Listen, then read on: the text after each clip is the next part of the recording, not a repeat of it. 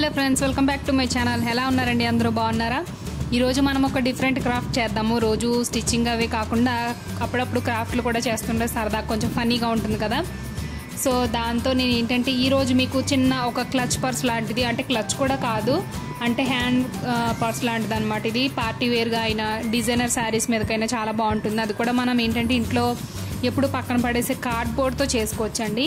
మామూలుగా అట్టతోటి అనమాట మీరు అట్టే కాకుండా గట్టిగా స్టిఫ్గా ఉన్న పేపర్ అయినా వాడొచ్చు దీనికి.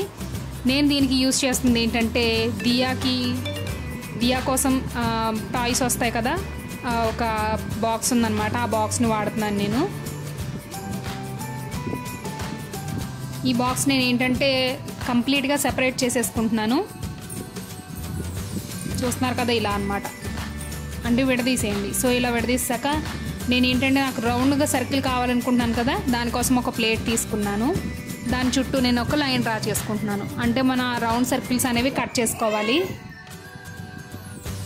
దానికోసం ఈ టూ సర్కిల్స్ కూడా ఇలా డ్రా చేసేసుకున్నాక మీరు కట్ చేసుకోవాల్సి ఉంటుంది.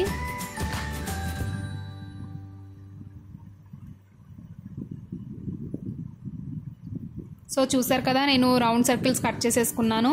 ఇదేమో మనం పైన పెట్టే హ్యాండిల్ అనమాట అలాగే రౌండ్ సర్కిల్ చుట్టూ కింద వేయాల్సిన ప్యాటర్న్ కూడా నేను కట్ చేసి చూపిస్తాను మీకు.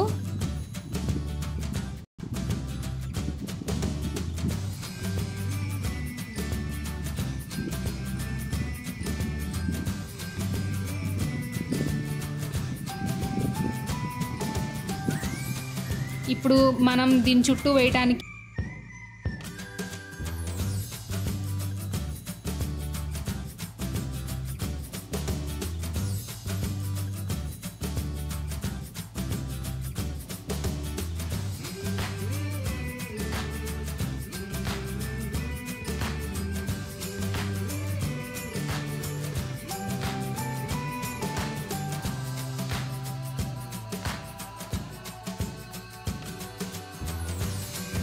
కట్ చేసేసుకుంటున్నాను.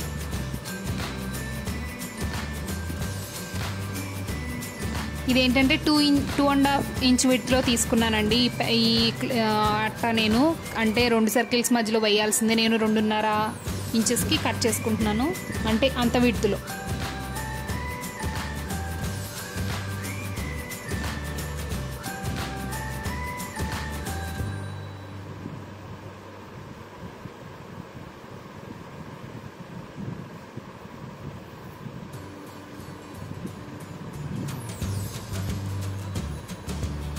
ఇలా కట్ చేసేసుకున్నాక దీనికి లోపల వైపు అంటే మనకు బ్యాగ్ లోపలికి వచ్చేదేమో నేను బ్లాక్ కలర్ క్లాత్ వేస్తున్నాను. అంటే లోపల వైపు అనమాట బయట వైపు ఏమో నేను వెల్వెట్ క్లాత్ వేస్తున్నాను.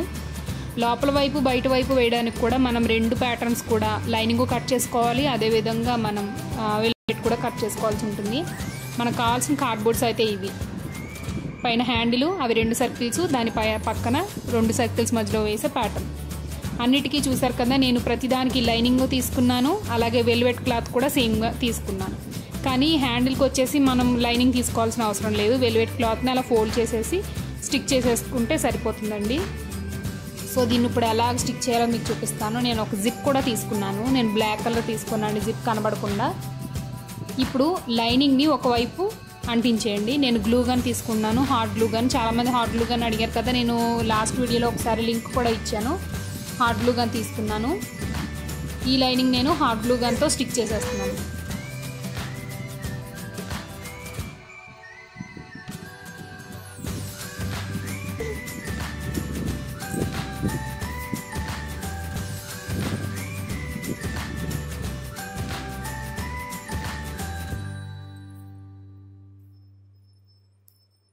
మొత్తం అంతా స్టిక్ చేసుకున్నాక ఇంకొక వైపు ఏమో వెల్వెట్ క్లాత్ని స్టిక్ చేసుకోండి. అదే విధంగా ఇందాక మీరు ఎలా స్టిక్ చేసుకున్నారు ఇటువైపు కూడా అలాగే స్టిక్ చేసుకోవాలి.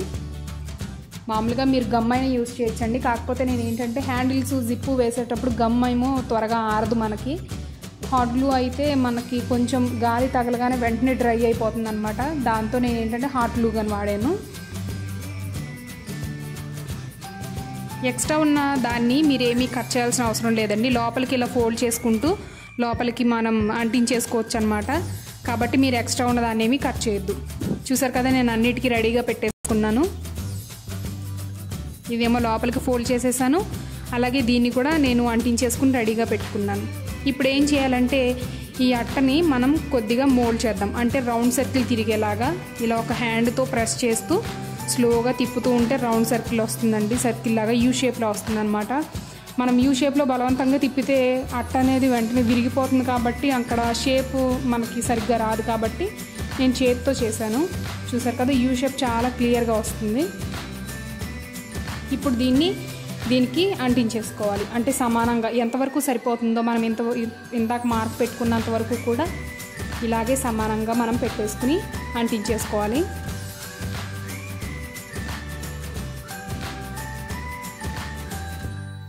నేను మార్క్ పెట్టుకుంటున్నాను మామూలుగా అంటే ఎంత నుంచి ఎంతవరకు వస్తుంది అనేది ఇప్పుడు ఏం చేయాలంటే గ్లూ అప్లై చేయండి. గ్లూ అప్లై చేసేసి దీన్ని చివరి నుంచి సమానంగా అంటే కింద నుంచి రౌండ్గా అంటించుకుంటూ వచ్చేయాలి. ఇలాగే అంటించాలి. ఇంకొక సర్కిల్ అటువైపు నుంచి కూడా సేమ్ అంటించాలి. ఒకవైపు అంటించాం కదా ఇంకొక వైపు కూడా అలాగే అంటించాలన్నమాట.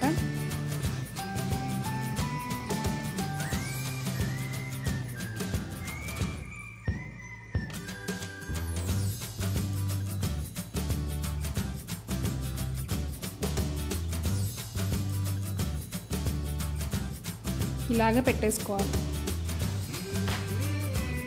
చూసారు కదా బయటికి రాకుండా క్లాత్ కూడా మొత్తం అంతా లోపలికి వెళ్ళేలాగా పెట్టుకోండి.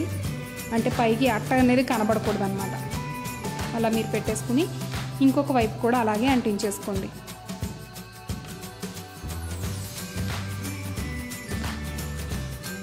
దీనిపైన కూడా సర్కిల్ ఇందాకలాగే ఇప్పుడు అంటించినట్టే వస్తుంది.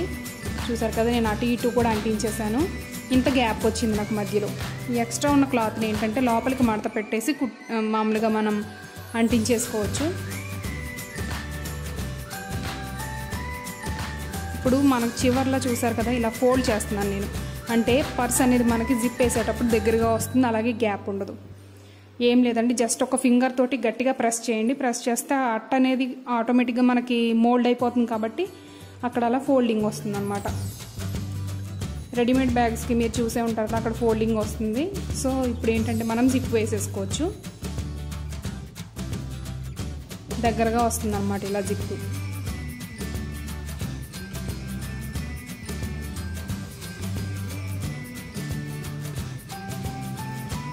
టోటల్గా అయితే ఇలా అనమాట మనకి ఎక్కడ కూడా ఎక్స్ట్రా క్లాత్ మిగలలేదు అంతా క్లియర్గా ఉంది కాబట్టి మనం ఇంకా జిప్ వేసేసుకోవచ్చు. ఒకవేళ మీరు అటు ఇటుగా కొంచెం క్లాత్ బయటకు వచ్చినా అంటించేసుకోండి ఇబ్బంది ఏమీ లేదు. ఈ జిప్ కూడా నేను వేయడానికి ఏం చేస్తున్నానంటే జిప్ ఓపెన్ చేసేస్తున్నాను ఫస్ట్.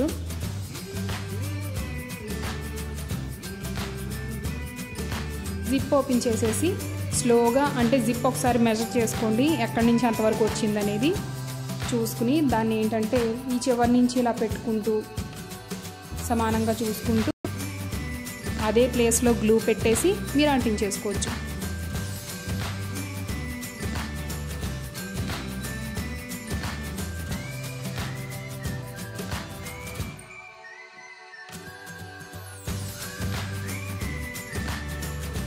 నేను ఇప్పుడు గ్లూ పెట్టేసి స్టిక్ చేస్తున్నాను. మీకు కనబడుతుంది క్లియర్గా సో నేను రెండు పడి తీసుకున్నాను కదా.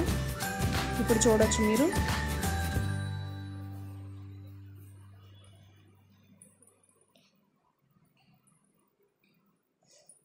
గ్లూ అప్లై చేసేస్తున్నాను నేను.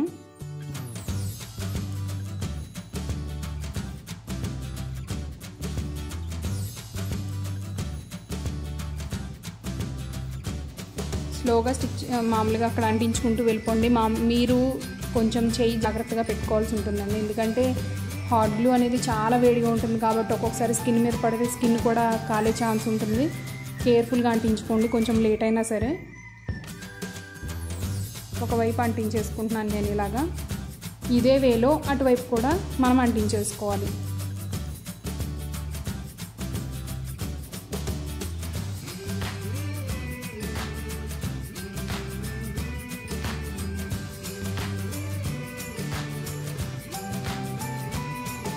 మీకు ఎక్స్ట్రా ఇక్కడ కనపడుతున్న అక్కడక్కడ కనపడుతున్న గ్లూ అనేది క్లాత్ కంటించుకున్నది కూడా ఈజీగా వచ్చేస్తుంది చేతితో తీస్తే. కాబట్టి ఈ గ్లూ ఉండిపోయిందనే డౌట్ ఏం అక్కర్లేదు. చేత్తో వస్తుందండి అది. హాట్ గ్లూ అనేది ఆరిపోతే ఈజీగా వచ్చేస్తుంది. ఇటువైపు కూడా సేమ్ ఇలాగే స్టిక్ చేసుకోండి.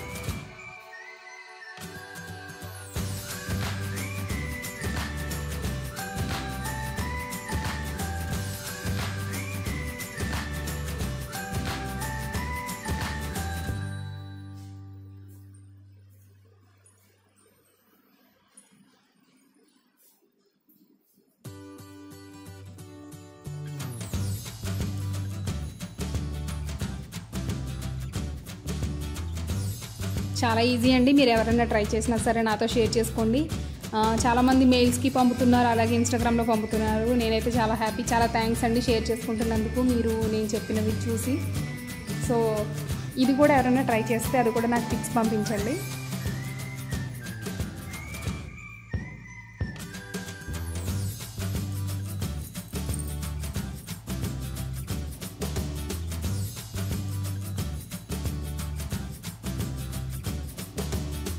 అటువైపు ఇటువైపు స్టిక్ చేసేసుకుంటున్నాను.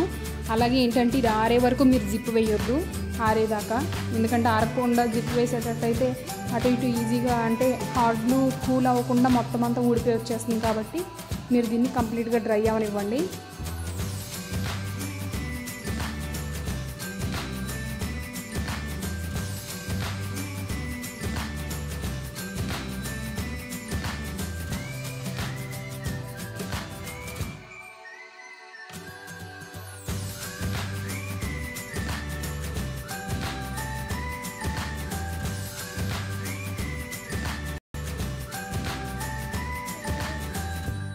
సో ఇది కంప్లీట్ అయిపోయింది కదా.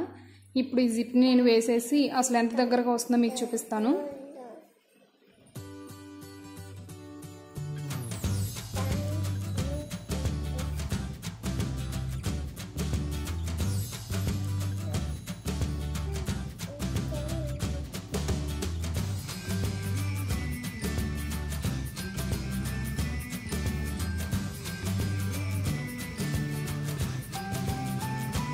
సో చూసారు కదా? ఇంత దగ్గరగా వచ్చేస్తుంది అనమాట జిప్ వేయటం కంప్లీట్గా కొత్త జిప్ అవటంతో కొంచెం ఇబ్బంది పెట్టింది నన్ను. తొందరగా జిప్ పడలేదు. సో ఇంత దగ్గరగా వచ్చేస్తుంది కాబట్టి మనకి లోపల ఉన్నవి ఏవి బయటికి పడిపోతాయనే ఛాన్స్ కూడా ఉండదన్నమాట. మనం కాయిన్స్ వేసినా సరే. ఇప్పుడు ఏంటంటే దీనికి హ్యాండిల్ పెట్టేద్దాం. హ్యాండిల్ కూడా మనం ఇందాక ఆల్రెడీ నేను తీసుకుని పక్కన పెట్టాను కదా హ్యాండిల్ అదే హ్యాండిల్ని పెట్టేస్తాను దీనికి నేను. ఈ హ్యాండిల్కి లోపల నేను అట్ట వేశాను. కానీ చివర్ల కొంచెం క్లాత్ వదిలేశాను అలాగా. అంటే అది స్టిక్ చేసుకోవడానికి బాగుంటుంది కాబట్టి ఆ క్లాత్ అనేది చివర్లో కొంచెం వదిలేశాను. దీన్ని కూడా కొంచెం రౌండ్ షేప్లో మోల్డ్ చేసుకోండి ఫింగర్ తోటి.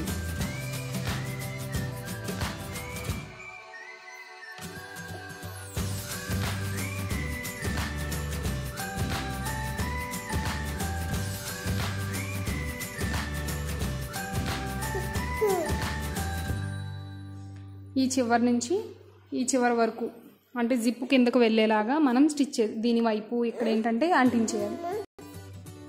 అస్తమానం మనం స్టిచ్చింగ్ చేస్తున్నాం కదా స్టిక్ అనే బదులు స్టిచ్ అని వచ్చేస్తుంది నాకు. మీరు గమనించి ఉంటారు. నేను అంటించేసాను కదా. కంప్లీట్గా అయిపోయింది. ఫ్రంట్ సైడ్ ఇప్పుడు బ్యాక్ సైడ్. మనం ఎటువైపు కావాలంటే అటువైపు దీనికి వర్క్ చేసుకోవచ్చు అవసరమైతే. నేను ఏంటంటే దీనికి ఒక ఫ్లవర్ అనేది స్టిక్ చేస్తాను. అది కూడా ఏంటంటే ఇది ఏంటంటే లేస్ ఫ్లవర్ అండి. లేస్ అనమాట ఈ ఫ్లవర్స్తో ఉన్న లేస్లు కూడా చాలా వస్తాయి. నేను ఏంటంటే జస్ట్ ఊరికి ఎప్పుడైనా ఫ్రాక్స్ కానీ డ్రెస్సులు కానీ వేసేటప్పుడు ఉంటాయని చెప్పి లేసే ఇలా తీసుకున్నాను. మీరు సైడ్కి వేసుకోవచ్చు మిడిల్లో వేసుకోవచ్చు అలా అయినా వేసుకోవచ్చు అనమాట మీరు అవసరం లేకపోతే ఈ సైడ్స్ కూడా కట్ చేసేసుకుని మిడిల్లో ఉన్న ఫ్లవర్ ఒకటి కూడా వేసుకోవచ్చు. నేను ఇప్పుడు దీన్ని మిడిల్లో స్టిచ్ మామూలుగా అంటిస్తాను. ఎందుకంటే మిడిల్లో వేసినట్టయితే అది రౌండ్ సర్కిల్ కాబట్టి రౌండ్ షేప్ కాబట్టి కొంచెం ఇది హెవీ వర్క్ ఉన్నట్టుంది కదా లుక్ చాలా బాగుంటుంది. కాబట్టి నేను దీన్ని మిడిల్లో అంటించేస్తున్నాను.